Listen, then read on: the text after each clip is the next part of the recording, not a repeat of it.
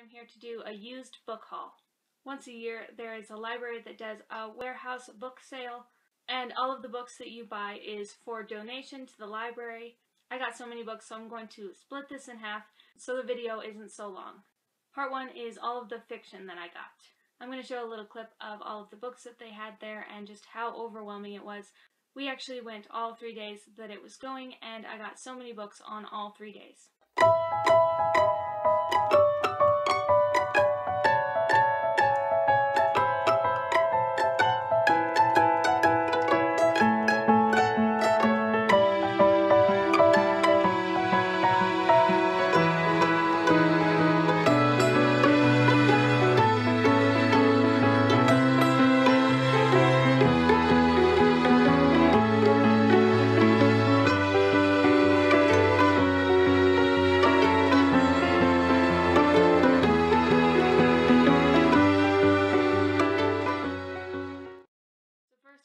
The first book in the Poldark series. These are probably the worst covers that I've ever owned, but I was so excited to find these because I've been looking for them, and I got the first one, and the third one I couldn't find the second one, but I am so excited to get into this because I absolutely love the TV show, so I really want to find out what happens. Then I picked up A Breath of Snow and Ashes by Diana Gabaldon. This is one of the books in the Outlander series. I haven't read any of these books, but I have been collecting them and I found this one and I was really excited to find this one.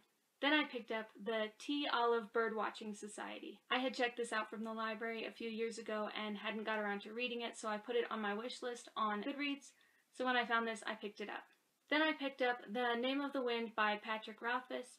Samantha from Novels and Nonsense talks about this all the time. I think it's one of her favorite books. I'm not big into fantasy, but I really wanted to give this one a try. This is an absolutely huge book, but I'm really hoping to get into it because she just talks so highly of it.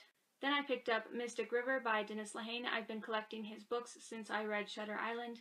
I enjoyed Shutter Island so much that I wanted to try some more of his books, and my mom said that this one was really good. Then I picked up Olive Kitteridge. This has become a really big book recently. I've heard great things about this, and my mom actually talked me and another lady there into buying this. Then I picked up I Capture the Castle by Dodie Smith. I have seen this on my mom's shelf for so many years, and I've been wanting to read it, and I was so glad when I found it. I think I'm really going to love this book. The last one I picked up was Clockwork Angel by Cassandra Clare. I have only read the first book in The Mortal Instruments and I really enjoyed it, but everyone says that this series is fantastic and I was so surprised to see it there. This is a really used copy from the library, but I'm okay with it. I'm hoping that buying this is really going to push me through The Mortal Instruments so I can get to this book. Okay, those were all of the fiction books that I picked up at this sale. My next video that I think will be coming out next week will be all of my nonfiction and classics, so stay tuned for that. I will leave a link to all of the books that I mentioned down below, and I will see you guys next time. Thanks for watching. Bye.